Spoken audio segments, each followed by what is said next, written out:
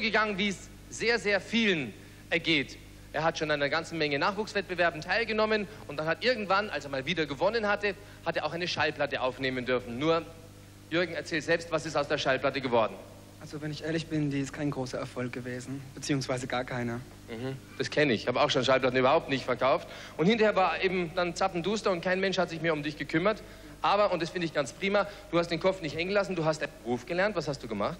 Ich habe Fotograf gelernt und mache zurzeit eine kaufmännische Lehre und will später ein Fotoatelier aufmachen.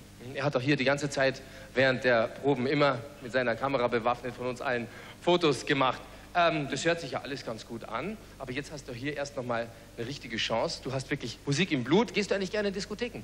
Ja, sehr gerne. Du weißt genau, warum ich das frage, denn sein Titel heißt nämlich Samstagabend in der Diskothek. Hier ist der Roger, denn einen Künstlernamen hat er nämlich jetzt auch. Roger, hier ist dein Mikrofon. Bitte, Bühne frei.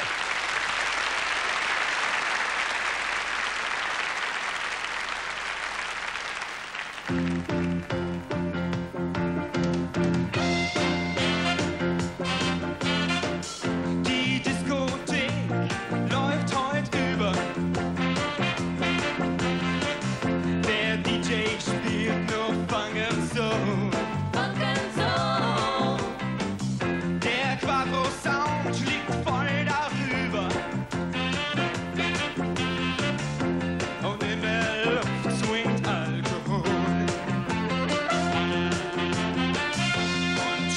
Und tanzt nur mit Belinda.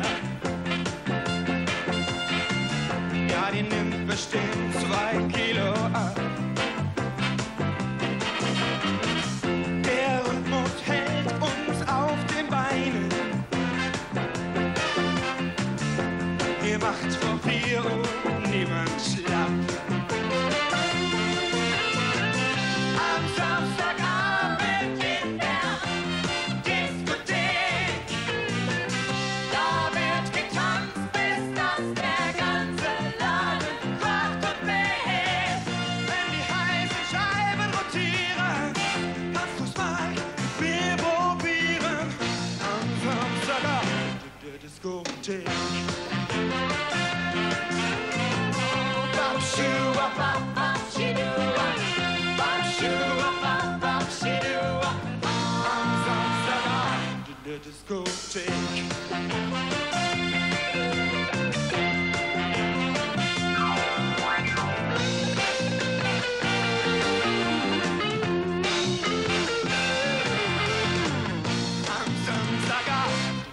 Diskothek.